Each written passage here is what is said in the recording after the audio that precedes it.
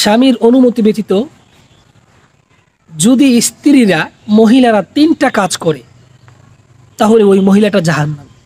হ্যাঁ দর্শক, হাদিসের মধ্যে এমনটাই এসেছে যে স্বামীর অনুমতি ব্যতীত যদি কোনো নারী তিনটা ভুল করে, তিনটা কাজ করে, তাহলে ওই মহিলাটা জাহান্নামি হবে, ওই নারীটা জাহান্নামি হবে।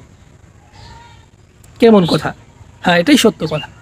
তিন, তিনটা ভুল আছে, তিন, তিনটা কাজ আছে, যদি কোনো মহিলা তার স্বামীর অনুমতি না নিয়ে এই তিনটা কাজ করে, তাহলে ওই মহিলাটা জাহান্নাম।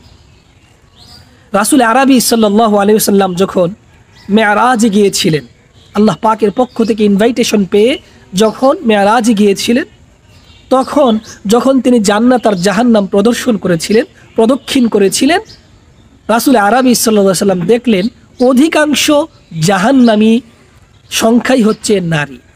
অর্থাৎ জাহান্নামের মধ্যে অধিকাংশ মানুষই হচ্ছে নারী। রাসুল আরবি সাল্লাম জিবরিল আমিনকে জিজ্ঞেস করলেন, হে জিব্রাইল, এই জাহান্নামের মধ্যে অধিকাংশ নারী হবার কারণটা কি? জিবরিল আমিন আলাইহি সালাত সেদিন মেয়ারাজের রজনীতে আমার নবী, আপনার নবী রাসুল আরবি সাল্লাহ আলাইহি ওয়াসাল্লামকে জবাব দিয়েছিল হে আল্লাহর রাসুল, অধিকাংশ নারীরাই তাদের স্বামীর অবাধ্যতার কারণে আজকে তাদের জাহান্নাম হলো শেষ পরিণতি।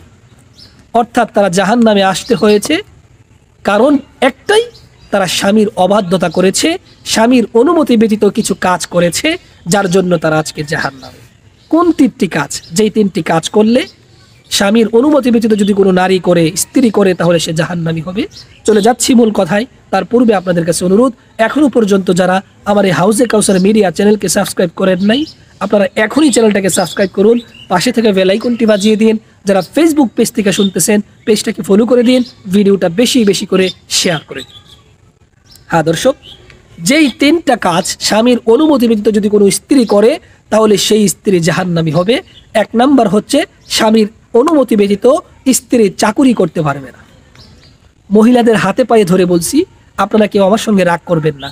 যারা আমার এই চ্যানেলের পরিবারের মহিলা আছেন, মেয়েরা আছেন, মা বোনেরা আছেন, আপনারা কেউ রাগ করবেন না আমার সাথে। কারণ আমি আমার নিজের কথাগুলো বলতেছি না, সত্য কথাগুলো, রাসুলের বাণীগুলো আপনাদের মাঝে আমি শেয়ার করতেছি। আপনারা যেন ওই অপরাধ থেকে বাঁচতে পারেন, জাহান্নাম থেকে বাঁচতে পারেন, সেজন্য আপনাদের দরদি হয়ে কথাগুলো বলছি। এক নাম্বার হচ্ছে চাকুরি করতে পারবেন না স্বামীর অনুমতি দিত তবে হ্যাঁ দেখুন, যেই কিছু কিছু চাকুরি আছে, যেগুলো মহিলাদেরই প্রয়োজন আজকালকে সিজারের সয়লাম হয়ে গেছে। এখন কোনো পুরুষ নারীকে সিজার করতে পারবে না। এটা ইসলাম সমর্থন করে না, এখানে মহিলার প্রয়োজন। তাহলে বোঝা গেল মহিলা হসপিটালে চাকরি করতে হবে, ডাক্তার হতে হবে। তো আপনি নার্স হতে পারবেন, ডাক্তার হতে পারবেন আপনার স্বামীর অনুমতি নিয়ে। কিন্তু যেই জায়গাগুলোর মধ্যে মহিলারা চাকরি না করলেও হয়, যেমন ব্যাংকে চাকরি করা, এখানে মহিলা চাকরি করতেই হবে এমন না। অর্থাৎ ব্যাংক সহ অন্যান্য যে জায়গাগুলোর মধ্যে মহিলারা চাকরি না করলেই চলে, না করলে সমস্যা নাই, পুরুষরাই চলে, সেই জায়গাগুলোতে মহিলাদের চাকরি করা উচিত না। যেখানে মহিলাদের দরকার, সেখানে মহিলারা চাকরি করবে ঠিক, তবে স্বামীর অনুমতি নিয়ে। এটা হচ্ছে এক নাম্বার। যে স্বামীর অনুমতি ব্যতীত চাকরি করা যাবে না। দ্বিতীয় নাম্বার হচ্ছে স্বামীর অনুমতি ব্যতীত স্বামীর পকেট থেকে কোনো টাকা নেওয়া যাবে না চুরি করে। অনেক সময় অনেক মহিলারা স্বামী যদি কাপড় খুলে রেখে বাইরে যায়, মহিলারা কি করে? ইচ্ছে করেই স্বামীর পকেট থেকে টাকা নিয়ে নেয় দরকার হইছে নিয়ে নেয় আপনি নিবেন, আপনি যদি ভালো করে মহাব্বতের সহিত স্বামীর সাথে জীবনযাপন করেন, তাকে বলে নিয়ে যান, না বলে কেন, চুরি করে কেন নেবেন? এটা জায়েজ না, বরং এমনটাও নয়, আপনি যদি কোনো একটা ভিক্ষুক আসছে আপনার বাড়িতে, ভিক্ষা দিবেন, আপনি যদি স্বামীকে না বলে স্বামীর পকেট থেকে দুইটা টাকা নিয়ে, পাঁচটা টাকা নিয়ে ভিক্ষুককে ভিক্ষা করেন, ভিক্ষুককে ভিক্ষা দেন, দান সৎকাও করেন, সেটাও আপনার জন্য জায়েজ হবে না। মানে স্বামীর অনুমতি ব্যতীত স্বামীর সম্পদ থেকে স্ত্রী যদি দান সৎকা করে, সেটাও জায়েজ হবে না। তো যাই হোক, এটা হচ্ছে দুই নাম্বার। তিন নাম্বার যেই কাজ, সেটা হচ্ছে স্বামীর অনুমতি ব্যতীত নফল ইবাদত করা যাবে না। যেমন, কোনো একজন মহিলা নফল রোজা রাখছে, স্বামীর অনুমতি ব্যতীত। না, স্বামীর অনুমতি ব্যতীত আপনি নফল রোজাও রাখতে পারবেন না। তাহলে বোঝা গেল কি?